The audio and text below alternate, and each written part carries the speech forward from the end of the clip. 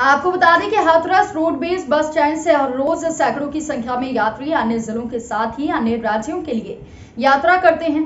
काफ़ी संख्या में दैनिक यात्रियों की संख्या भी है, लेकिन उनको अपने गंतव्य पर आने जाने के लिए समय से बस स्टैंड से आने डिपो की बात तो छोड़िए, हाथरस डिपो की बसें भी नहीं मिल पाती। जिसका एक कारण है कि हाथरस डिपो में पचहत्तर बसों में से 25 बसों का खराब होकर वर्कशॉप में खड़ा होना है। वहीं दूसरा मुख्य कारण ये भी है कि ज़्यादातर बसें शहर में अंदर ना आकर रोहेरी और मिताई बाईपास से निकल जाती हैं। इसके कारण रोडवेज़ बस स्टैंड पर यात्रियों को अपने गंतव्य पर जाने के लिए घंटों इंतज़ार करना पड़ता है। आज भी यही हुआ जब घंटों इंतज़ार करने के बाद यात्रियों को अपने गंतव्य पर जाने के लिए बसें नहीं मिली तो उन लोगों ने हंगामा करना शुरू कर दिया। बस स्टैंड पर हुए इस हंगामे की सूचना पर मौके पर पहुँची इलाका पुलिस के द्वारा बमुश्किल समझा बुझाकर यात्रियों को शांत किया गया। वहीं यात्रियों का कहना था कि पहले तो यहाँ बसें मिलती ही नहीं है। अगर मिल भी जाए तो बस स्टाफ बस को समय से यहाँ से ले नहीं जाते। वहीं दूसरी तरफ़ स्टेशन प्रभारी चरण दास ने बताया कि हाथरस डिपो में कुल पिछहत्तर बसें हैं, जिनमें से 25 खराब होकर वर्कशॉप में खड़ी हैं। बड़ा सवाल ये है कि एक तरफ़ तो अधिकारी दावा करते हैं कि रीजन की सभी बसें हाथरस शहर के अंदर होकर जाती हैं तो वहीं देखने वाली बात होगी कि उनके दावे अगर सही हैं तो आखिर हाथरस डिपो बस स्टैंड में यात्रियों को बसें क्यों नहीं मिल पा रही हैं? और आखिर अधिकारी कब रोडवेज़ बस के कंडक्टर चालकों पर लगाम लगाएँगे जिससे वो अपनी अपनी बसों को हाथरा शहर के बस स्टैंड तक लेकर आए।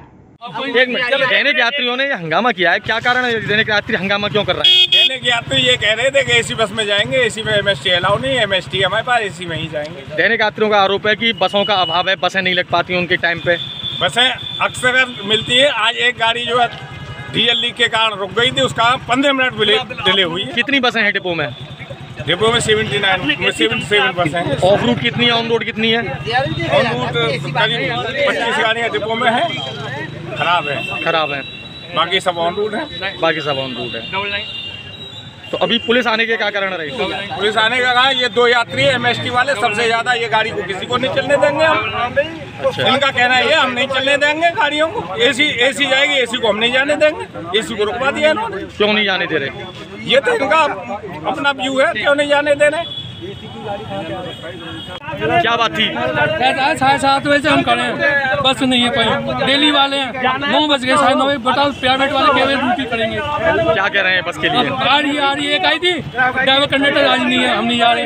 ए सी आई है। एसी में नहीं। अब बस आई है भड़के गई। अब बहुत से यही हल्ला हो रहा मतलब बस नहीं जा रही है नहीं बस रोज का ये चक्कर है।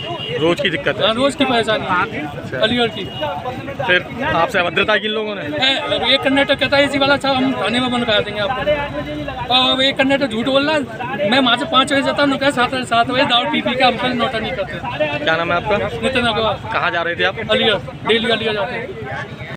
क्या नाम है आपका? पवन कुमार। पवन कुमार जी कहाँ जा रहे हैं आप? आगरा।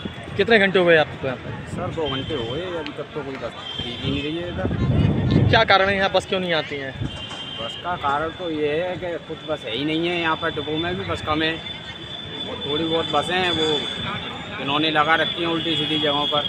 लेकिन लोकल के लिए इन लोगों ने अभी तक कोई ज़्यादा बसें नहीं लगाई हैं। क्यों? आगरा अलीगढ़ अन्य डिपो से जो बसें आती हैं वो?